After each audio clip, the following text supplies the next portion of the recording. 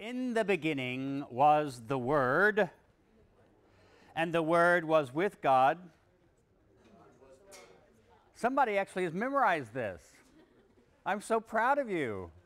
I got me some good Sunday school people in the class, or at least somebody who's done the reading for the day.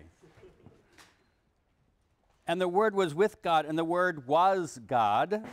He was in the beginning with God. All things came into being through him. God, what a philosophical sounding term. Being. It screams to be capitalized, like Hegel or someone like that would do. Being. Do you sit around in your dorm room worried about being? What is the nature of being? What is the nature of existence? Yeah? No? If you do, you're a good philosopher. What has come into being, now that's also very philosophical. In traditional classical philosophy, from Plato on, being is one kind of thing, and coming into being is something else.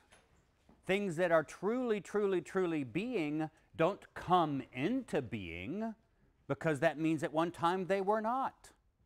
Man, this sounds so philosophical. And the life was the light of all people. The light shines in the darkness. The darkness did not overcome it. You skip down a bit. Verse 14 The Word became flesh and lived among us, and we have seen his glory, the glory as of a Father's only Son, full of grace and truth. That sounds not only philosophical, but downright theological. No one has ever seen God. Good theological point, right? It is God the only Son. God the only Son. Have we heard anything like that kind of language so far in this course? God the only Son. No, we haven't. That sounds like a Christian creed. It doesn't sound like Matthew, Mark, and Luke. It doesn't sound like Acts. It doesn't even sound like Thomas. We're in a different world with this gospel. This is not like anything we've seen so far. So, from the very beginning of the Gospel of John, you should know you're in a different world from the synoptic Gospels Matthew, Mark, and Luke. The style, for example, over and over again, the style is repetitious. There are phrases and words that come up over and over again darkness and light, light and darkness. I already did some of that with the the word in the beginning was the word. The word was with god. The word was god. He was in the beginning with god. All things came into being through him. Without him not one thing came into being. What has come into being come into being repeated three times. Little clue don't write your exegesis papers like this. This is not good american english writing style you're supposed to vary your terminology, right? A little bit and alter your terms. That's good English writing style. This, of course, is actually fairly good ancient Greek writing style. It's just that different writing styles are different. But it's, also a writing style that we haven't seen so far. So there's this repetition of words. They're memorable sayings in the Gospel of John that you don't have in other places.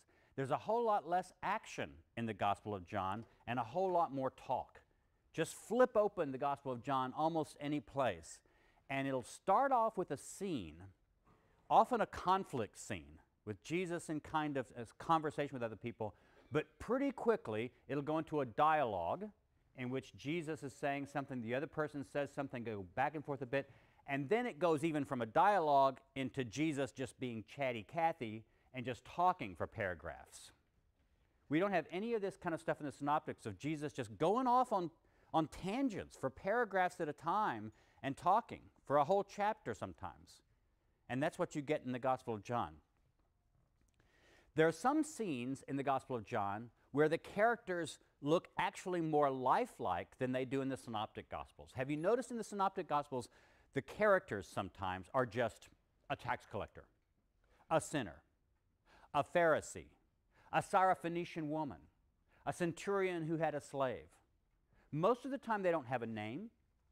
Most of the time, they say one or two things to Jesus. One of the longest conversations with Jesus that we have uh, with another character is precisely the Syrophoenician woman you've, uh, you've read about, where you remember she comes and says she wants her daughter to be healed, and she's not a Jew, and so Jesus says, It's not right to take bread from the children's mouths and throw it to the dogs, calling her a dog. And undeterred, she says, Yes, but the dogs get to eat the crumbs from under the master's table. That's one of the longest dialogues that Jesus has with another person, not his disciple, in the Synoptic Gospels. Very different when we get to the Gospel of John. We have this scene, we'll go to it in a minute, where Jesus has a whole chapter talking to Nicodemus. We're told who Nicodemus is, we're told a little bit about him, and then Jesus has a conversation with him. We have a whole scene in which Jesus is talking to this woman at the well, a Samaritan woman. We know more about this woman than we know about just about anybody else in the Synoptic Gospels. We know that she's had seven husbands. How many people do we know that about? We know that, you know, she's a Samaritan. We know where she lives. We know that she goes out to draw water. So there are a lot of places in the Gospel of John where characters actually look much more lifelike and filled out than they have been in uh, the Gospels uh, that we've read so far. This lecture is going to focus on the Gospel of John. But as you've already figured out, one of the main themes of the course is how were the different forms of early Christianity different from one another? It wasn't just one movement. It's not like some new religion just sprang out of the earth or fell from heaven. So one of the themes of the course has been to look at the different kinds. And the Gospel of John and then the letters of John, 1st, 2nd, and 3rd John, which we'll talk about next time, are a wonderful example of this. And in fact, what, if you look at the syllabus, today's lecture constitutes a certain shift in the syllabus. Because although I am talking about a gospel, and I'm talking, and I have been talking about gospels, I put a little subheading under uh, this week that's sort of like the spread of Christianity and how Christian, different Christian groups look different. We talked about that with, with the book of Acts last time. But this time, what we're going to do is we're going to use Johannine Christianity, just one of those fancy scholarly words. This refers to different kinds of John Christianity. So we've got the Gospel of John and we have the three letters of John. And they are similar enough, although it's quite debatable whether they're all written by the same person. We'll talk about that when we get to the letters of John.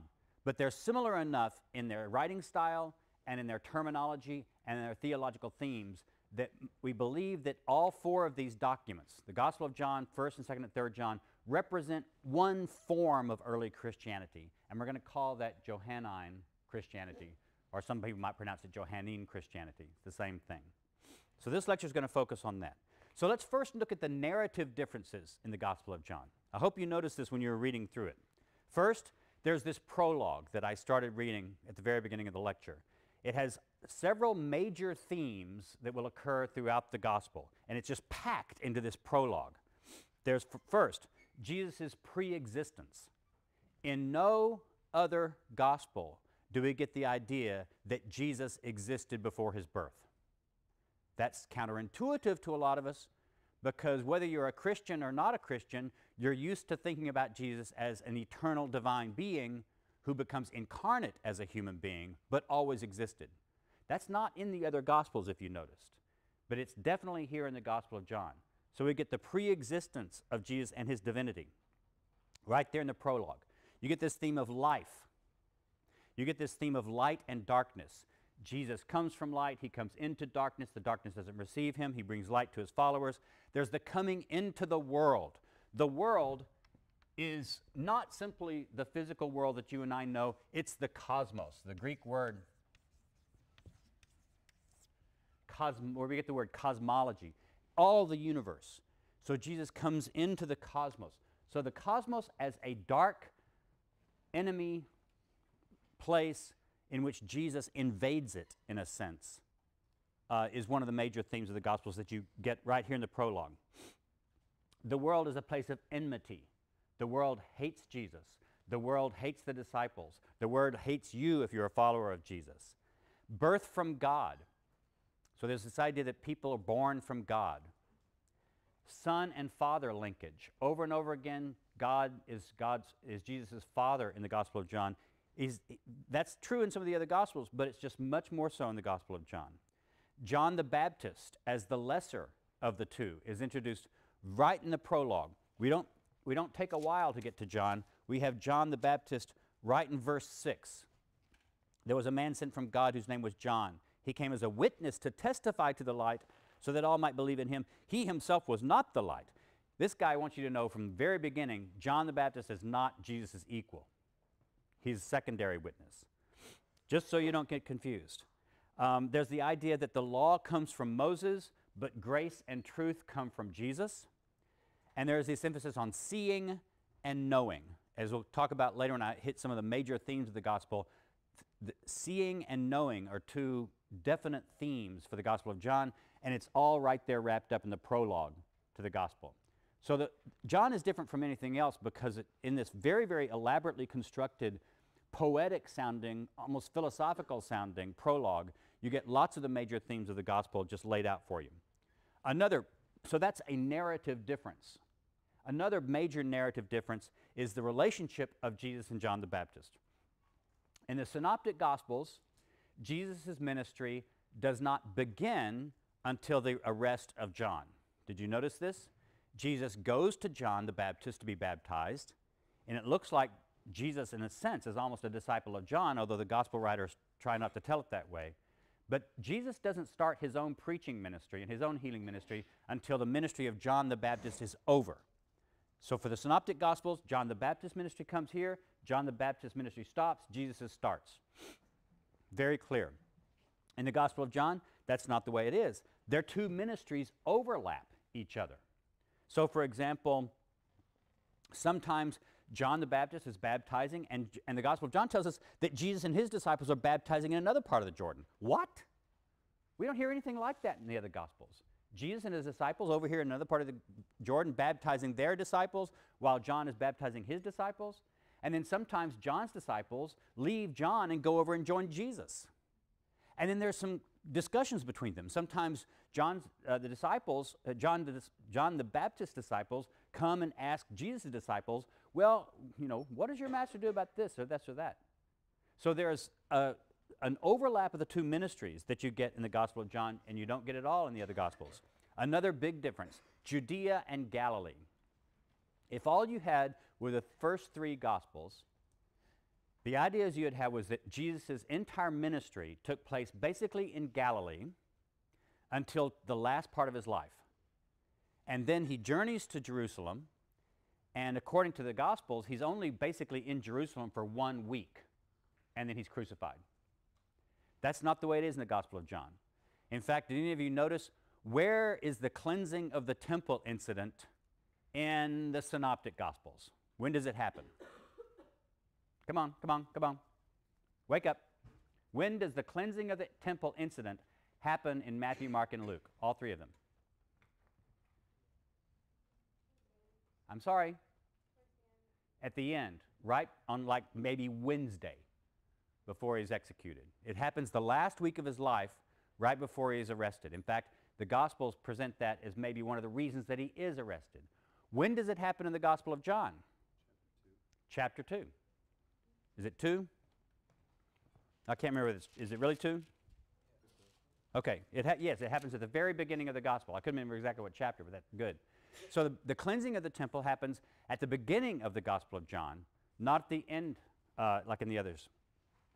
Uh, the length of Jesus' ministry. In the Synoptic Gospels, if all you had was Synoptic Gospels, it would look like the ministry of Jesus probably lasted maybe a year, not much more than that. There's just no indication of how long it takes. But he goes to Jerusalem only one time for the Passover, and that's at the end of his life. In the Gospel of John, there are three different mentions of Passovers. There's the Passover in chapter 2, verse 13. This is when he goes up to Jerusalem and cleanses the temple there. There's another Passover mentioned in chapter 6, verse 4. And there's another Passover mentioned in 13, verse 1. That is the Passover that's at the end of his life when he's arrested. So there's three Passovers that occur in Jesus' ministry according to the Gospel of John. Have you ever heard the tradition that Jesus was 30 years old when he started his ministry, and his ministry lasted three years, so he would have been dead at 33? You may have heard that. Do you know how people got that tradition? It's not in the Bible anywhere. They get the 30 year old idea from reading some passages in Luke and the idea of when he started his ministry. They get the three years from reading, reading the Gospel of John. So notice how they've taken one little detail about Jesus' life from Luke, a different detail from John, they combined them together to give you the tradition. But no gospel actually has that teaching in it. Christians have pulled these gospel, the details from the gospels together. That's because John's the only one that indicates that according to his reckoning, Jesus' ministry covered at least three uh, Passovers. The other uh, gospels don't have that. Jesus' parents and hometown. According to Matthew, Jesus' family is simply from Bethlehem. That's where they start off, that's where they end up. So Jesus' family is from Bethlehem. Jesus later goes to Galilee. According to the Gospel of Luke, Jesus' family is from Galilee. They go to Bethlehem only for the census, and then a month or so after the birth, they go back to Galilee. So we've got differences right there. Matthew simply has Jesus' family from Judea in the beginning, and they end up moving to Galilee after they go to Egypt. Luke has them from Galilee, go to Judea, go back to Galilee. John doesn't have anything about this Bethlehem birth. In fact, he has in, in chapter 7, verse 31, people say, How can you be the Messiah?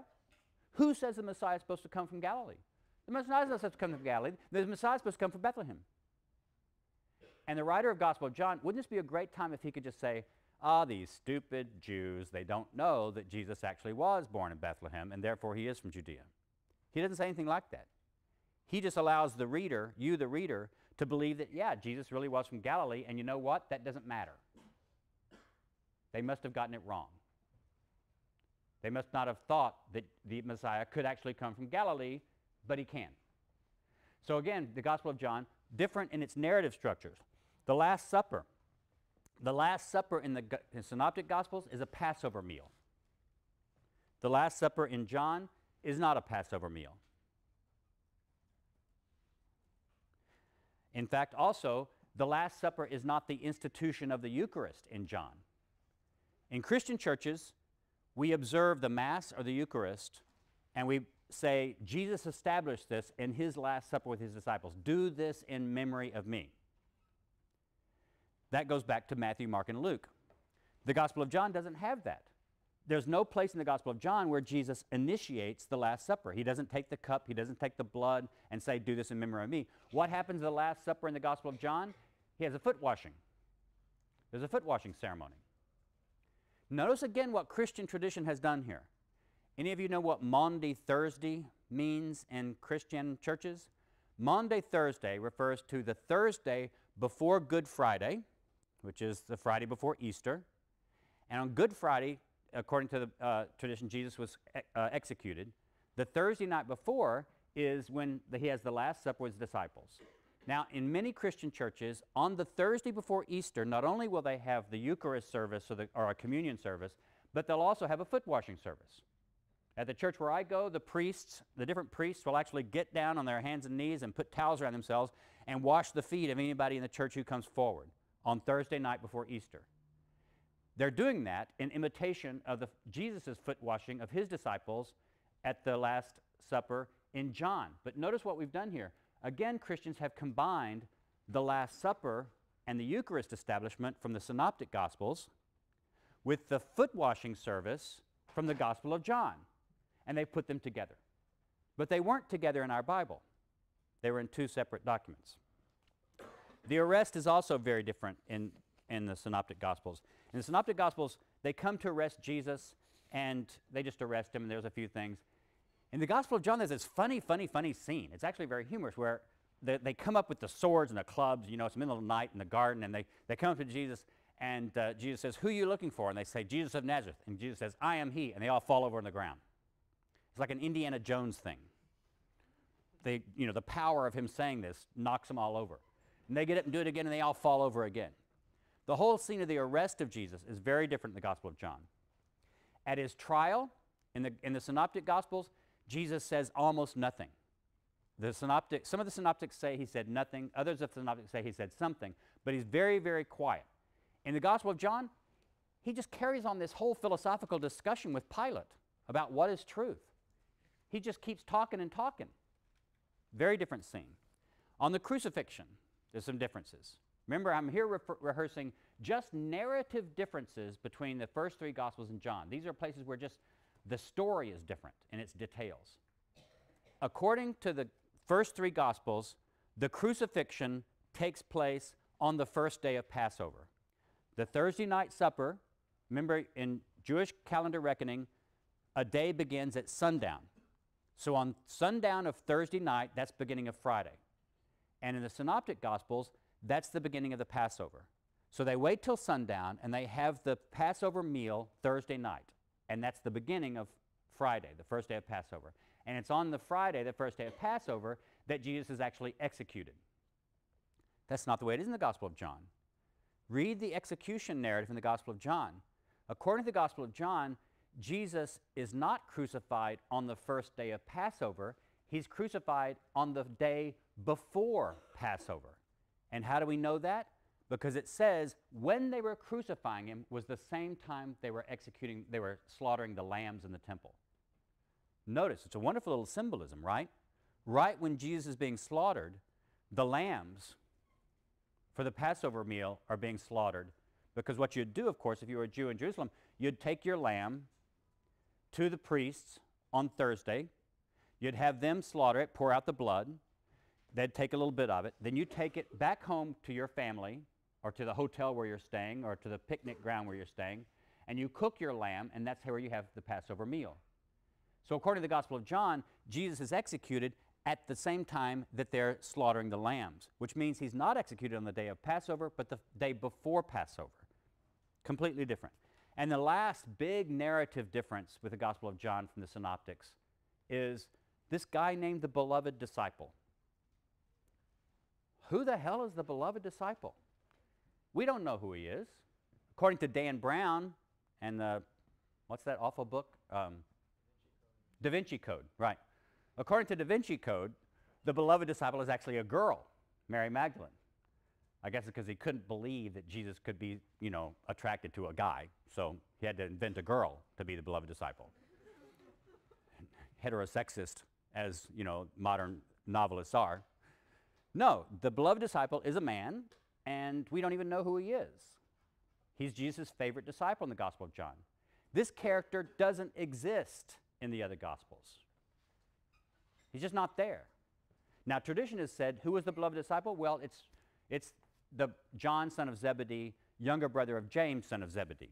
And if you go to the art gallery, which you will later in the semester, we're all going to take a tour of the Yale Art Gallery, you'll see that when John, son of Zebedee, is depicted in art, he's always depicted as a young man without a beard, very beautiful, almost feminine looking, because he's sort of representing the boy that Jesus loved. Well, we don't know that it was John. The Gospel of John doesn't tell us it was uh, John, it just tells us it's the beloved disciple. So most scholars are just willing to say whoever this beloved disciple was, and maybe it was just a figment of the literary pretensions of this writer. Maybe there was no historical beloved disciple. We don't know. But he's a strong character in this gospel, and he doesn't appear anyplace else but in this gospel. Notice, in all those ways, the Gospel of John is very different from the other three gospels. That in itself makes it really interesting to study. It opens up a window for us of an entirely different kind of early Christianity than we would have if we didn't have this gospel. So it's really wonderful. Okay, some major Johannine themes. I'm going to go through this pretty quickly because if you just take a concordance and look up these terms, you can look at all the different places. First, notice that some of these main themes, I've already mentioned some of them when I was talking about the prologue, these main themes occur over and over and over again like the ringing of bells in the Gospel of John. Every once in a while, you'll see one in one chapter, and then you might not hear it to the next chapter, or a few chapters later, but they'll just keep coming up. So the, this author hits you over the head several times throughout the Gospel with the same themes coming back at you. One of them is the descending and ascending Redeemer figure. Jesus is uh, the one who came down from above who's going up. Look at 151. Now we're going to run like bunnies through the text here. So get your text out and be prepared. Lick your finger. Come on, lick your finger. You're not going to get sick. It's your own finger. 151. And he said to him, Very truly I tell you, you will see heaven opened and the angels of God ascending and descending upon the Son of Man. So the angels are ascending. Look at 313. No one has ascended into heaven except the one who descended from heaven, the Son, uh, the Son of Man. Look at uh, 331. The one who comes from above is above all. The one who is of the earth belongs to the earth and speaks about earthly things. The one who comes from heaven is above all. And I could go on. 132, 638, 641, 658, 2017. Just look up this coming and rising and look up these words in a concordance and you'll find they recur over and over in the Gospel of John. Very similar to that one is the theme of being lifted up. So Jesus in 314, in 1232, in 828. You don't need to see remember these numbers because you got you can look at a concordance and you can read this and you can just mark out in the margins of your Bible whenever you see this idea. In all of those, Jesus is the one who will be lifted up. And this is a puzzle. One of the things we'll find is the Gospel of John likes puzzles. He likes riddles. So, what does this mean when Jesus talks about the Son of Man being lifted up? Does it mean his ascension into heaven? Does it mean his resurrection from the dead? Does it mean his being put on a cross? Because when you nailed somebody on a cross, you did it on the ground and then you put them up like this. So does the lifting up of the Son of Man refer to his crucifixion or his resurrection or his ascension? Going back to the Father? It's a puzzle. We're never told exactly. And that's one of the wonderful things about this text is that it plays with you all the time. It wants you to wonder about what's being meant here. So that lifted up is one of the themes that goes along with this going up and coming down. And then another part of that theme, see, these themes get complicated, is when Jesus says, Everyone who comes to me, when I'm lifted up, I will lift up. So God sa- so Jesus says he will lift up people who are his disciples. So this going up and coming down is all the way through the Gospels. That's one of the main themes. I mentioned seeing. Okay, we're going to run like bunnies through the text. 118. No one has ever seen God. It is God the only Son who is close to the Father's heart, who has made him known. Oh, now see, I should have told you. Knowing is another theme there. We got two themes right in the same verse seeing and knowing. And the relationship between seeing and knowing in the Gospel of John is also difficult. It's not always clear. Do you know by seeing? Or is seeing, does seeing lead to an inadequate form of knowing? These are big exegetical problems that the Gospel of John poses and scholars argue about. Look at 134. And I myself have seen and have testified that this is the Son of God. Okay, I have seen. Look at 139. He came to them, Come and see. They came and saw where he was staying. In other words, just look in a concordance for every time you find the word see, saw, seeing, and you'll just find it over and over again. Uh, chapter 3, verse 3, chapter 3, verse 11, chapter 3, verse 32, chapter 3, verse 36. Several right there in chapter 3, et cetera, et cetera, et cetera. And again, it's always a little bit difficult to figure out do you have to see to have faith in the Gospel of John?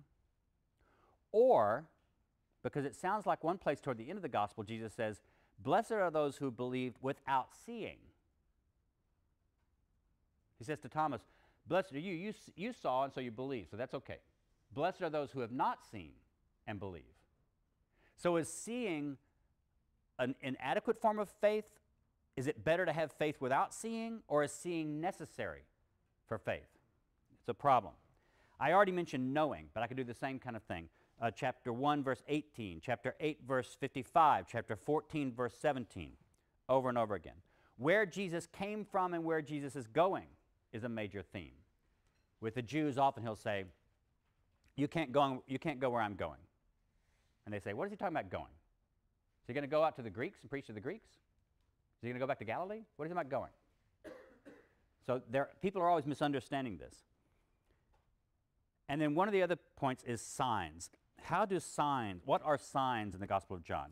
Notice the Gospel of John has other differences that I haven't even mentioned. For example, remember in the Synoptic Gospels, there are lots of exorcisms of demons. Jesus is going around a lot casting out demons from people, and the demons even confess him. Do you know there's not one exorcism in the Gospel of John? Jesus is not an exorcist in the Gospel of John, as he is in the other three Gospels. Why is that? Obviously, this writer knew that there were stories circulating around that Jesus cast out demons. Why does he not have Jesus doing any casting out of demons in his Gospel? I don't know. There's probably a dissertation there somewhere, if you can find an answer. Look at 211. So, one of the things is that in the other Gospels, they talk about Jesus' miracles, his healings, but the, a term preferred by this Gospel writer is sign. He talks about the things Jesus did as signs. Now, there's not a lot of them. Jesus doesn't do a whole lot of miracles in the Gospel of John. He does some big, important ones that become famous. For example, turning water into wine, which is, of course, every college student's favorite miracle of Jesus. if only he had turned it into beer, that might have been a little bit better, right? But Jesus is famous for turning water into wine, one of his major miracles. It's only in the Gospel of John. It's not in the other Gospels. So some of Jesus' famous gospel, famous miracles are in the Gospel of John, but they're not called miracles in John. They're called signs. So look at 2:11. Jesus did this. The first of his signs, this is the turning the water into the wine, in Cana of Galilee, and revealed his glory, and the disciples believed in him. Notice, the first of his signs. Let's look over a little bit. 454.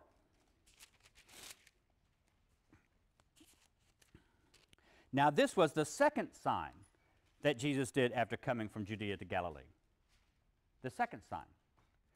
This has actually led some scholars to say that one of the sources this writer may have had is a signs book, a collection of signs, that is, miracles that Jesus did.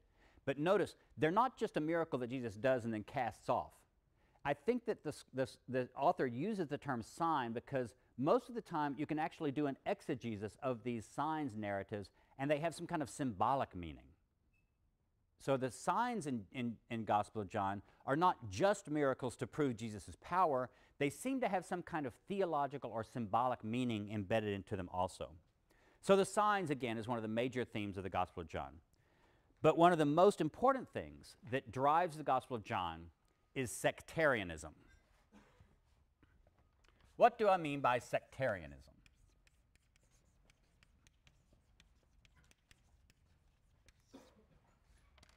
According to sociology of religion, a sect is not necessarily just an insult. In other words, you don't just say, oh, you're just a member of some crazy little sect out there handling snakes or doing other kinds of things.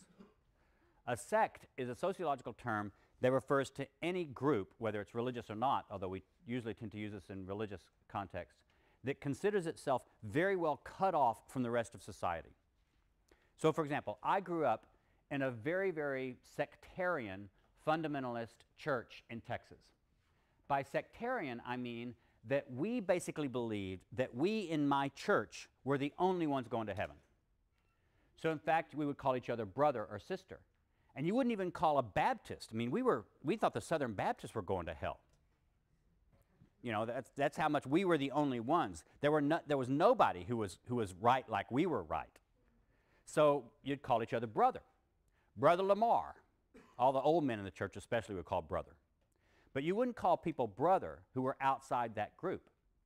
So we were the only Christians you had to be in our group. In fact, people would even talk about, you know, something like if you, if you, if you uh, brought somebody to church as a visitor, somebody might come up and you and say, well, is she a member of the church? They didn't need to say our church or our denomination. It was just the church because the church meant our church. So this, what made this group a sectarian group was we had very firm boundaries. There were debates about whether it was okay to marry outside of that boundary. Could you actually marry a Methodist? Oh, God, no. And God help you, a Roman Catholic. So the stronger the walls, the stronger the walls between your group and outsiders, the more sectarian your social group is. John's church seems to be a very sectarian group. And that's one of the things people, why does he talk so much about dark and light? These are stark divisions, insiders, outsiders up, below. They're children of light and children of darkness. They're children of God and children of Satan. There's no in between, there's no gray area. You're either in or you're out. So scholars define this by talking about Johannine sectarianism, the insider outsider divisions. And we're going to look at one place where that comes up. Look at chapter 9. I'm going to spend a little more time with this chapter because some scholars have used this to say what's going on in the Gospel of John. So get chapter 9, get your Bibles out. You know, I may lie to you. This is a story about Jesus healing a man born blind. So I'm going to skip around do it, but uh, first he heals him, and then 9 verse 10, they kept saying to him, that is the surrounders, then how were your eyes opened? He answered, The man called Jesus made mud, spread it on my eyes, and said to me, Go to Siloam and wash. Then I went and washed and received my sight. They said to him, Where is he? Notice this. Where is he? How are your eyes opened? And he says, I do not know. No, no, no, no. I now see, see, see. Where, where? They brought him to the Pharisees, the man who had thrown him around. Now it was the Sabbath day. Now, wait a minute. This is verse 13 for crying out loud. We've been 12 verses into this chapter, into this story, and only at verse 13 are we told that it's the Sabbath day. Why not? Why is that? Well, because apparently what started out as a simple healing story, this author has decided to turn into a conflict story.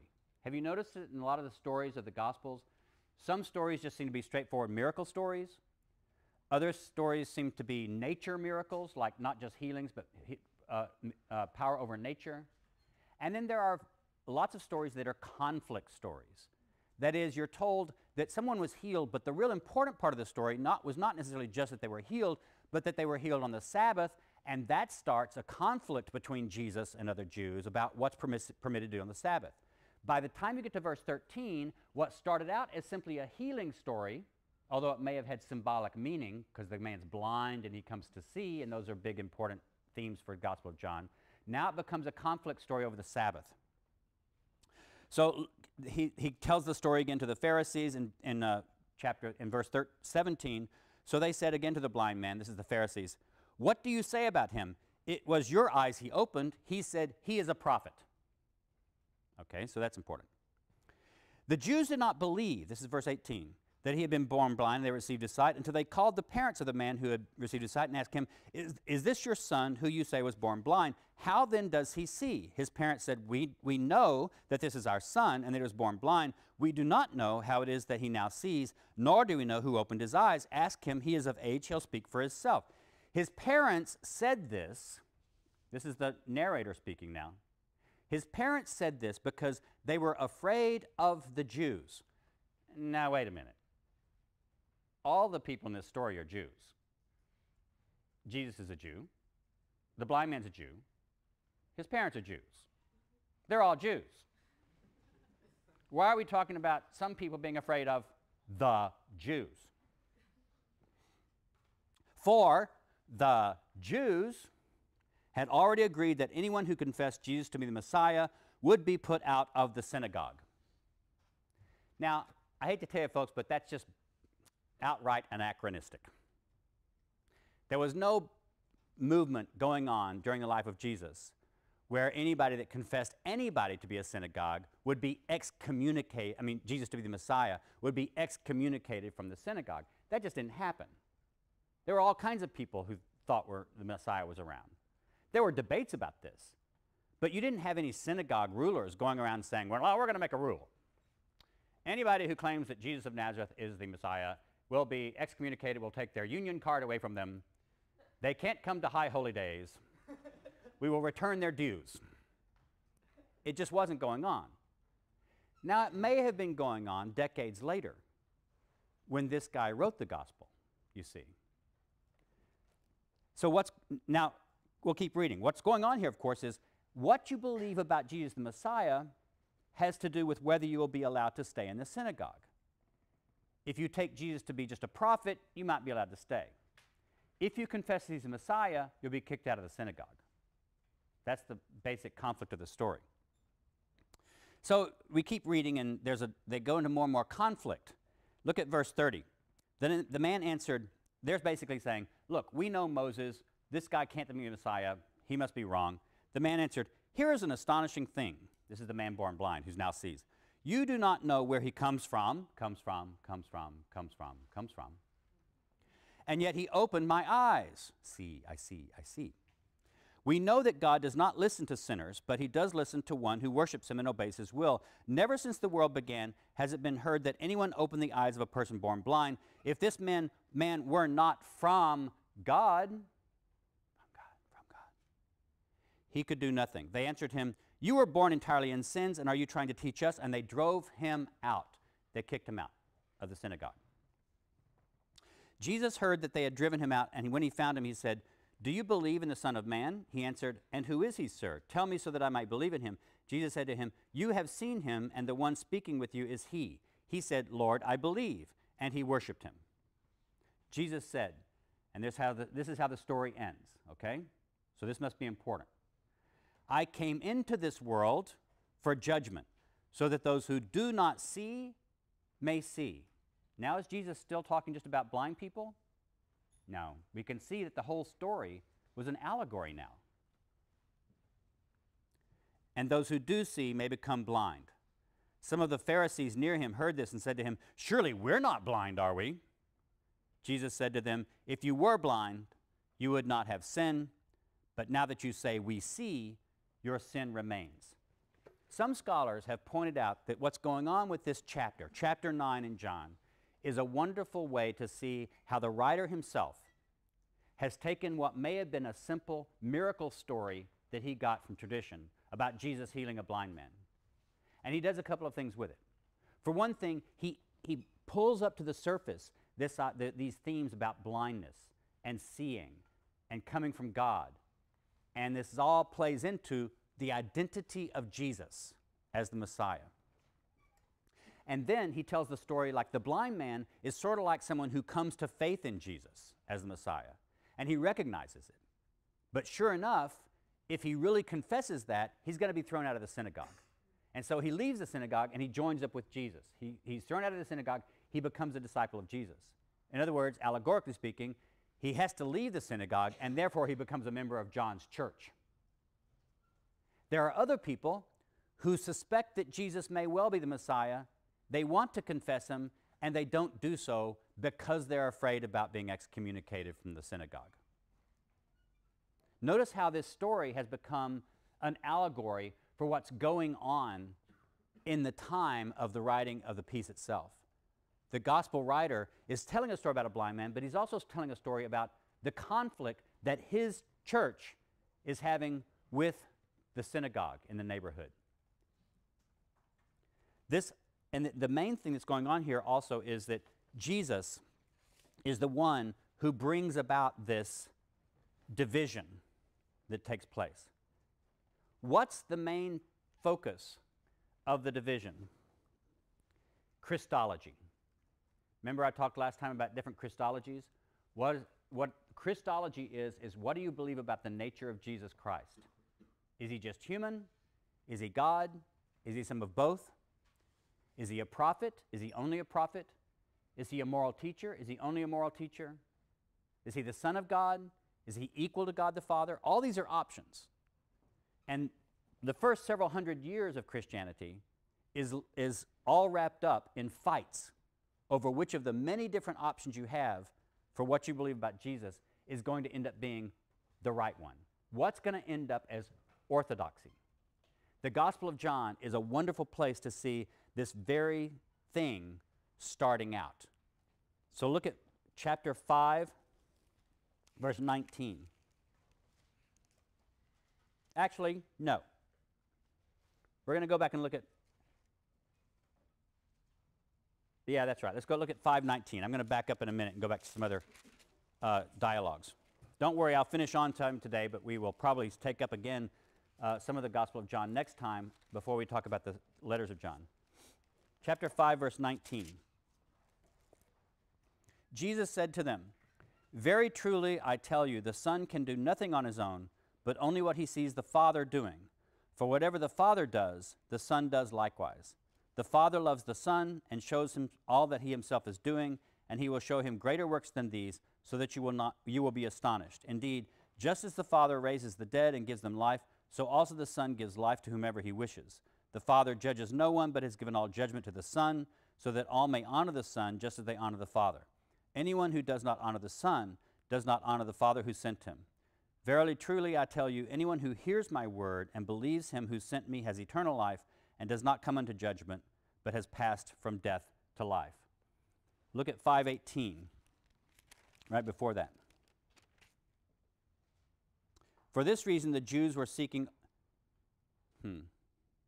Yeah, for this reason, the Jews were seeking all the more to kill him, because he was not only breaking the Sabbath, but was also calling God his own Father.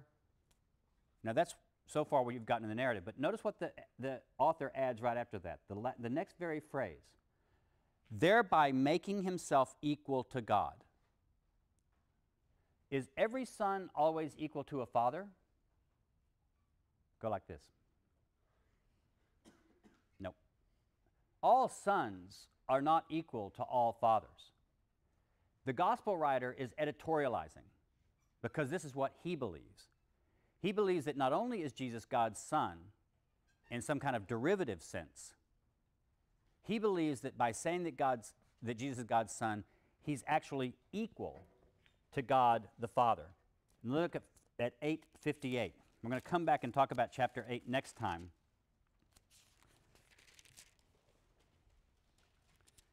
There's this, chapter 8 is one of these classic scenes in the Gospel of John, which start out with Jesus just talking to someone in what seems to be a cordial and relatively peaceful mood.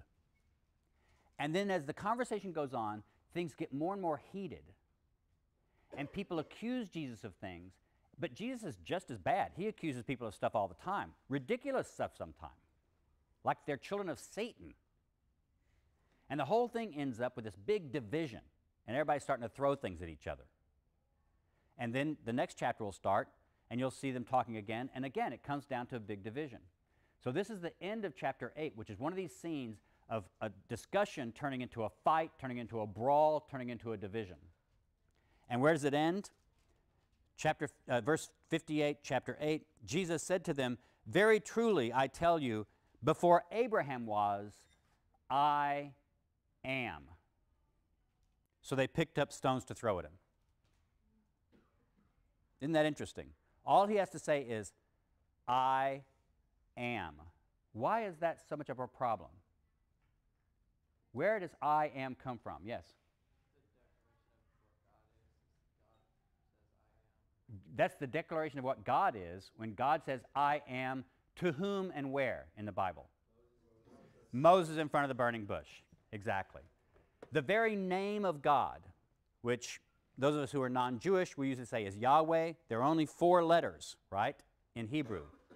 And those four letters don't have vowels attached to them. So we're not really sure how to pronounce them. In your English Bible, they're usually translated by Lord in small caps.